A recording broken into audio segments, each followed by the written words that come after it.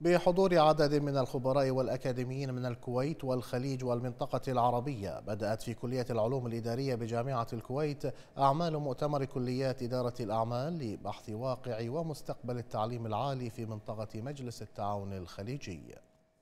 برعاية سمو ولي العهد الشيخ نواف الأحمد انعقد مؤتمر كليات إدارة الأعمال الخليجية لبحث واقع ومستقبل التعليم العالي في منطقة الخليج. وكان مدير جامعة الكويت الدكتور حسين الأنصاري قد افتتح المؤتمر نيابة عن وزير التربية ووزير التعليم العالي الدكتور بدر العيسى. مستهل فعاليات المؤتمر الثاني لكليات إدارة الأعمال آه، بدول مجلس التعاون الخليجي تحت عنوان عوامل التغيير وذلك إيمانا من كليات إدارة الأعمال بالدور المنوط بها في ظل الظروف التي تواجهها دول مجلس التعاون وما يمكن أن تقدمه من دراسات ومقترحات لمواجهة التحديات. وتطور أدواتها ومخرجاتها لمواجهة التطورات والمستجدات على مستوى العالم.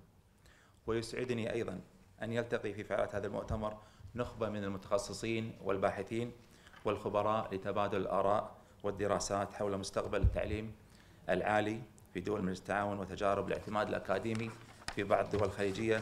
وناقش المؤتمر الذي يستمر يومين في جلساته اليوم مستقبل التعليم العالي في دول مجلس التعاون.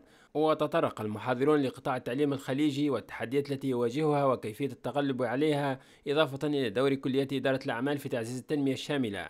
مؤكدين أن قطاع التعليم من أكثر القطاعات مساهمة في مواجهة مختلف التحديات والنهوض بالتنمية ومن خلال ربطها بالثورة المعرفية الراهنة والتركيز أكثر على متابعة التحولات في مفهوم التعليم ومخرجاته. وتناول المؤتمر مسألة الارتقاء بالقدرات الطلابية ومستوى كفاءة الخريجين وضرورة تعزيز مهارة التفكير الإبداعي وتنميتها لدى الطلبة والاستفادة منها بعد تخرجهم ودخولهم للحياة العملية.